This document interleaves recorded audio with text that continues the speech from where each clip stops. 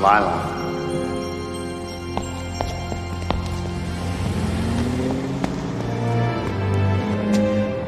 Lila.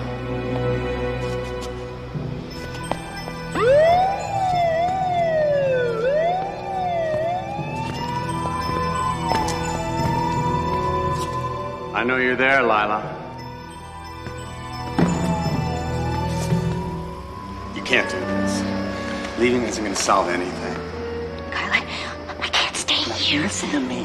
Wherever you go, you're going to have trouble. And they're going to start asking you questions you can't answer. Maybe they'll believe what they want to believe. Kyle, don't worry about me. No. I'm not going to let you go. Not now. Problem here, folks? Oh, Dr. Adler. Miss Nolan. Hello, George. Uh, we're just having a chat here. It's no problem. Good morning. Oh, thank goodness. Hi, Lila. Hi, Justin. How's my patient today, Mrs. Haynes? He's doing just fine, Lila. Aren't you, Daddy? He, um, he seems a little weaker than he was yesterday. You're my boyfriend, aren't you, Mr. Gibbs? Well, if he doesn't care about that, he's already dead. Justin, if you're going to work today, I'll ride downtown with you. But hurry. I don't want to be late. We're on our way, Mother. See you, Lila. Bye.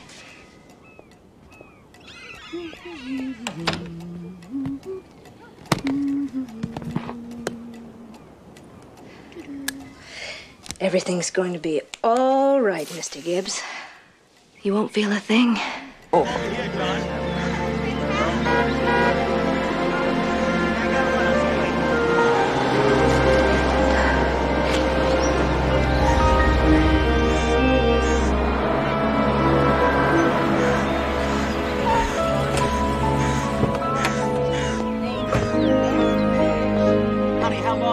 Lila, now what's what's this all about? I called your room, and Phoebe Dixon said that you'd moved out and were planning to leave. I told her she was mistaken, that you just came back to town. I hope these tears aren't for Horace Gibbs. He was my patient. And he died. But that's not your fault. He was my patient too, but I'm not crying. And I knew the old coot since he was a middle-aged coot. I gave him his medication. He fell asleep. I went out to get some sun. And when I came back, Sorry.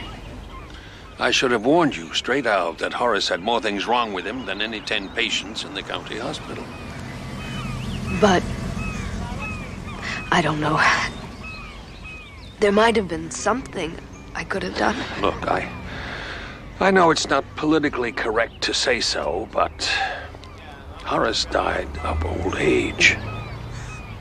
Lila, there's no use running away when there's a need for good nurses right here in Cabot Cove. Must be patient. I've got to get to a telephone. Thank you, Dr. Hazlitt. You're making the right decision will be thanks enough.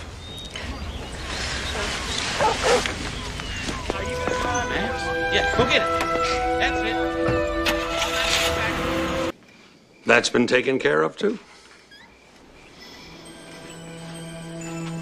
Lila? Lila Nolan? It's nice to see you again, Mrs. Fletcher. I persuaded Lila to be Maggie's round the clock nurse.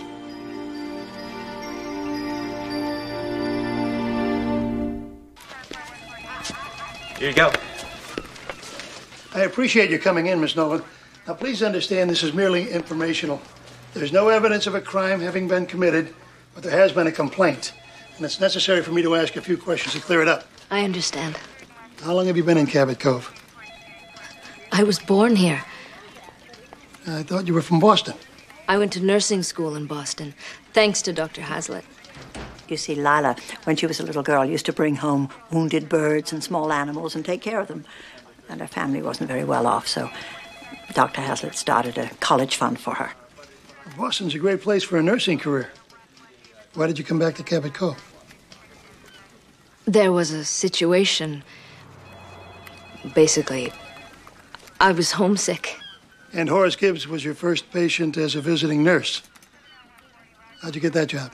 Dr. Hazlitt recommended me. Lila, did the medicine that you gave Mr. Gibbs come from Dr. Hazlitt? Yes, ma'am. Miss Nolan, Mrs. Haynes says her father's gold watch and cufflinks were missing from his bureau after he died. You know anything about that? Are you asking me if I stole those things? I have to. Sheriff, what kind of a person would kill another human being for a handful of trinkets? Well, that's a better question than I asked. Thanks for coming in, Miss Nolan. You can go back to your patient now.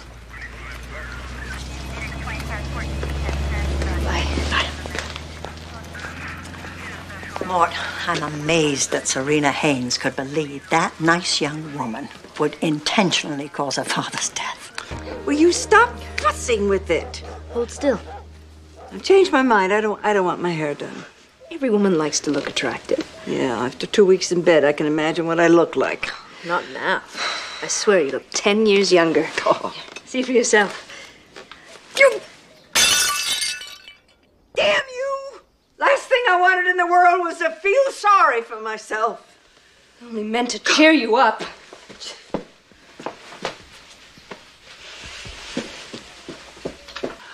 Oh, they're beautiful. Oh, thank you. I found the vase in the pantry. Oh, do you know Dory gave me that one Mother's Day? Not being her mother, I was especially touched. and then Eddie, when he found out that she'd given it to me, he decided to give me something from his woodworking class. It turned out to be a necktie rack. Keep it under your hat, but I'm buying Dory a piano. What a grand present. Uh, Lila, if you'd put those flowers over there on the dresser, I could see them better. I'll make some room. Jessica, listen up. I want to tell you something. oh, Sorry. can I help you? No. Thank you. I'm just having a klutzy day. Uh, Jessica, guess what I have a craving for right now? You'll have to give me a hint. You and I pigged out on it. We ate a whole one all by ourselves. A whole one, all to ourselves, just the two of us? well, that can only have been your grandmother's applesauce cake. Well, do you remember where I kept the recipe? Mm-hmm. I haven't made one for years, but if that's what you want, I'll have another go at it.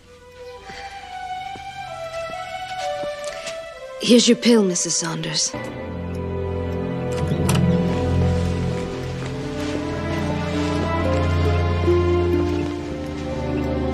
Seth, is she all right? I'm sorry, Jess.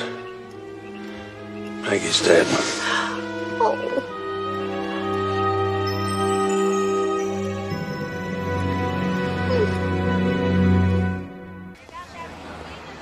Lila.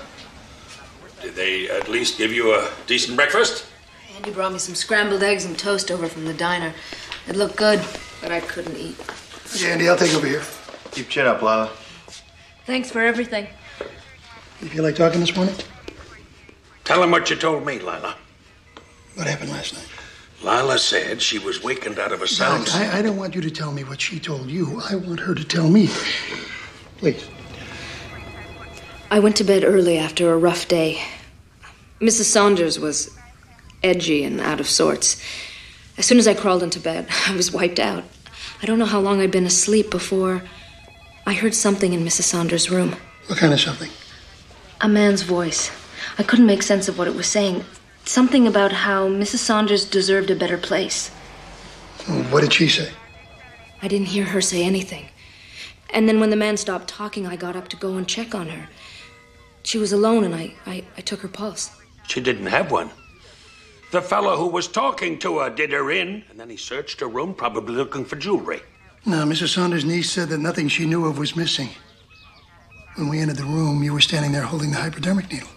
I saw it on the floor, and I picked it up. Well, the state police lab said it contained strychnine, and the only prints on it were your prints. What about the rest of the room? Yours, Mrs. F's, Dory Saunders. I didn't kill her. What about the others? I didn't kill any of them. Look, Lila, I've seen the reports. In every case, you were alone with the patient. Now, hold on, Mort. In every case, those other patients were already dying. Maggie was recovering. How do you explain that?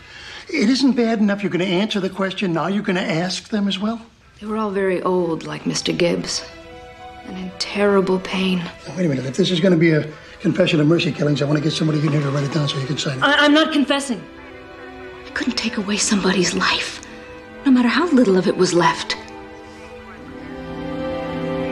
Sound like me? What, why do they have to sound like me? That's him. That's the voice I heard in Mrs. Saunders' room the night she was murdered. Hey, wait a minute. Wait a minute. She's the one you arrested for the murder. Yeah, based on her alleged connection to other mercy killings. But her ex-boyfriend is Dr. Kyle Adderley. Was picked up by the Boston PD a little while ago, and he swore she had nothing to do with him. He'd led Lila to believe that she'd be considered his accomplice.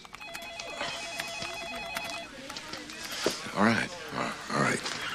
The truth. Somebody offered me a part ownership of a first class retirement home. If I would just. I mean, figuring I knew a lot of wealthy seniors at the country club. This, uh, there's somebody who offered you part ownership. Does he have a name? Jason Giles. What difference does it make? She was dead. When you got there, if that's the truth. Maybe he got there first.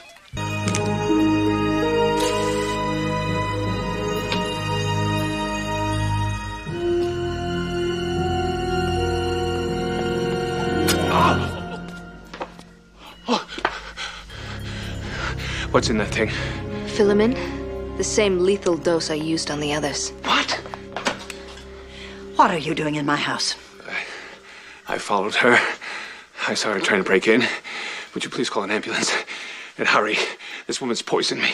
You didn't follow her here, Justin. You came here to kill me.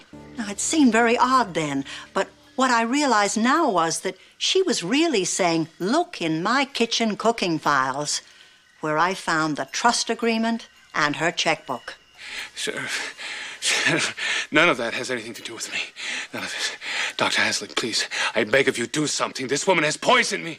Maggie wrote a check for over $15,000 to buy Dory a piano. It came as a real shock to her when that check bounced.